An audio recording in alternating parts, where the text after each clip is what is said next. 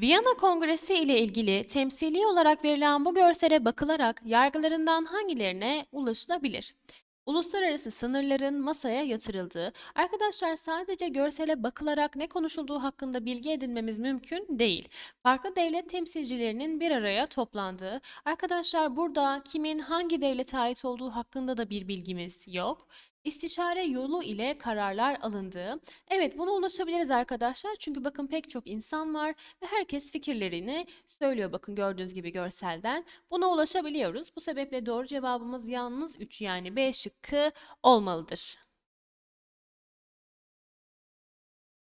Verilen parçaya bakılarak yargılarından hangilerine ulaşılabilir?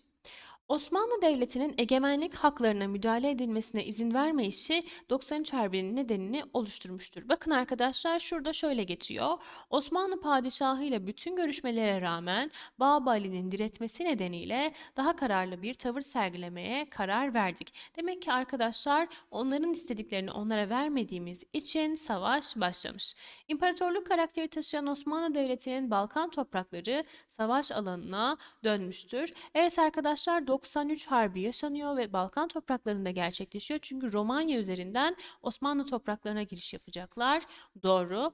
Gazi Osman Paşa Rus çarında hayranlık ve saygı uyandırmıştır. Bakın arkadaşlar şurada da çar kendisine teslimiyet sembolü olan kılıcı iade etmiş hatta üstüne bir de kendisine kahramanlığını takdir amacıyla çifte kartal nişan vermiştir diyor arkadaşlar. Üçüncü öncüle de o yüzden ulaşabiliyoruz. Doğru cevabımız E şıkkı olmalıdır.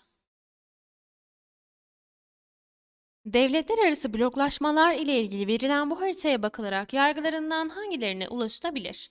İtalya'nın devletler arası ilişkilerde istikrar sağlayamadı. Bakalım arkadaşlar haritamıza. Üçlü ittifaktan üçlü itilafa katılan arasında kim var gördüğünüz gibi İtalya var arkadaşlar doğru.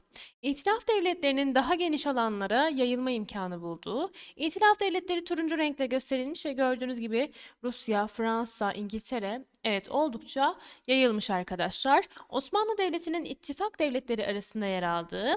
Bakalım Osmanlı Devleti şurada yer alıyor arkadaşlar. Tarafsızken üçlü ittifaka katılan arasında o da doğru. Bu sebeplerle doğru cevabımız 1, 2 ve 3 yani E şıkkı olmalıdır. Osmanlı ve Rusya arasında yapılan savaşlar ve anlaşmalar ile ilgili verilen bu tabloya bakılarak yargılarından hangilerine ulaşılabilir? Osmanlı ve Rusya arasında uzun süren savaşların yaşandığı. Bakın arkadaşlar gördüğünüz gibi uzun yıllar boyunca savaşlar yaşanmış doğru. Askeri başarıların siyasi zaferleri beraberinde getirdiği. Arkadaşlar biz bu anlaşmaların içeriğini bilmediğimiz için siyasi bir zafer mi yoksa bir kaybediş mi bilemiyoruz arkadaşlar.